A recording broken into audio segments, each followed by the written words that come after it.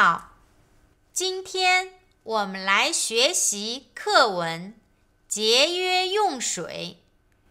Today, we shall read the text entitled Saving Water. Learning Outcomes. By the end of this lesson, you are expected to read the text with the appropriate pronunciation and intonation, understand and answer the questions. 阅读开始。Now, let's start. 小华，你看昨天晚上的新闻了吗？开普敦今年严重缺水。没看。我知道开普敦前两年就缺水了，今年更严重了吗？是的，政府采取了节约用水措施。什么措施？每人每天用水不能超过五十升。洗澡时间九十秒。冲厕所一次。要是还不下雨呢？政府就要实行零水日，家里的水龙头就停水了。那怎么办呢？他们就要到取水点排队取水，每人。每天只能取二十五升水，二十五升水太少了呀。是啊，所以洗手的水还要用来洗衣服，洗完衣服。还要用来冲厕所，缺水太不方便了，所以我们大家都要节约用水。练习 Exercise. 回答问题。Answer the questions. 第一题 Question One 昨晚谁看新闻了？昨晚谁看新闻了？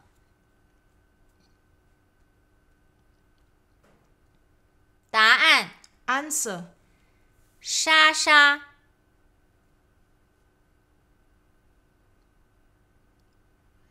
第二题 Question Two，什么地方今年严重缺水？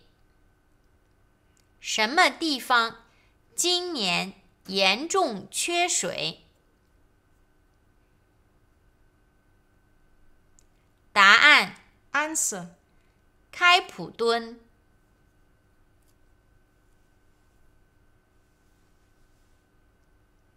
第三题。Question three 政府采取了什么节约用水措施？政府采取了什么节约用水措施？答案：Answer. 每人每天用水不能超过五十升，洗澡时间九十秒，冲厕所一次。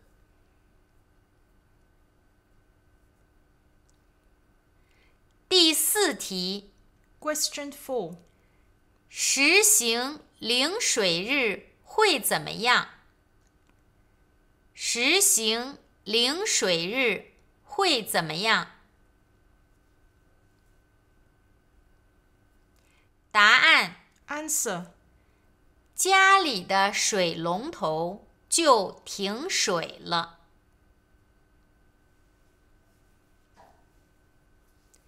总结。Recap. 小华，你看昨天晚上的新闻了吗？开普敦今年严重缺水。没看。我知道开普敦前两年就缺水了，今年更严重了吗？是的，政府采取了节约用水措施。什么措施？每人每天用水不能超过五十升，洗澡时间九十秒，冲厕所一次。要是还不下雨呢？政府就要实行零水日，家里的水龙头就停水了。那怎么办呢？他们就要到取水点。排队取水，每人每天只能取二十五升水。二十五升水太少了呀！是啊，所以洗手的水还要用来洗衣服，洗完衣服。还要用来冲厕所，缺水太不方便了，所以我们大家都要节约用水。阅读练习结束。 The reading exercise is over. 希望你喜欢这堂课。